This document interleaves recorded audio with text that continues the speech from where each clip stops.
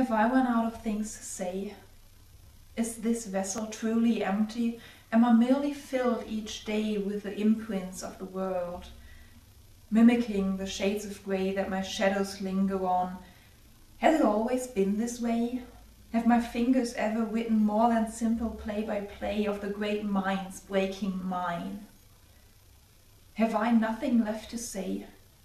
Have my wanderings left me empty?